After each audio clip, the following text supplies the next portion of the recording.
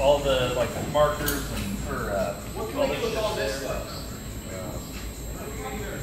we gotta do something.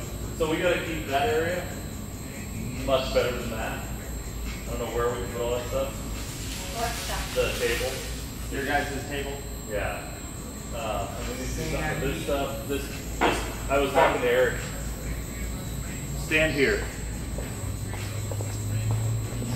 And walk in It's almost and imagine.